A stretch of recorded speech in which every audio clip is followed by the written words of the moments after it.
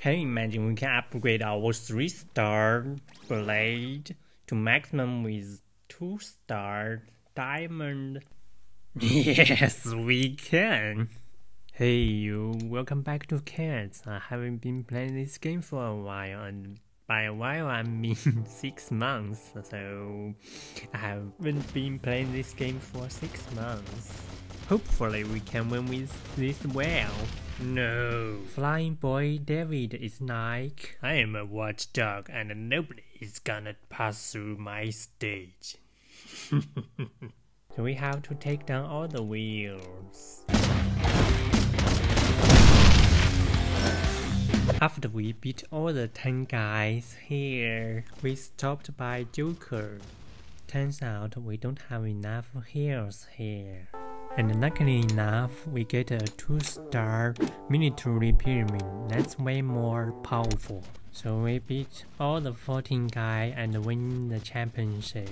Do you want to give a winner speech? No. And luckily enough again, we have no real players in stage 12. So we have to keep winning and winning and winning. And suddenly I have a question for you. Are humans extinct? Yes.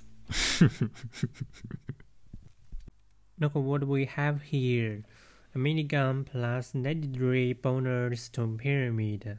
Hmm, that's exactly what we need. We know it's hard to upgrade a higher stage weapon, but we have a secret message here. And that is magic fuse. We magic fuse you to you and you to you. And finally we get our final material, the almost maximum drill. And now we can upgrade our fresh new minigun to maximum with this fresh new material. So we can keep winning and winning and winning. hey sir, it's time for your winning speech. Do you have something to say? Hmm, nice talk. And then we stop by this flying boy number two. And this Chinese dude is like revenge for his little brother, the flying boy David. And this Chinese flying boy have an extremely powerful willpower. We can't beat him even take down all of the wheels. So we have to use magic fuse again.